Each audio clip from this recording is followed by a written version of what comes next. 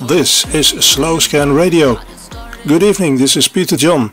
We bring you experiments with slow scan TV images, mostly photos, and also several kinds of data transmission using FLDigi. We have a show sending some data and mostly SSTV images. The images can be received with your normal radio. The easiest way is to use a smartphone holding it simply close to the receiver speaker.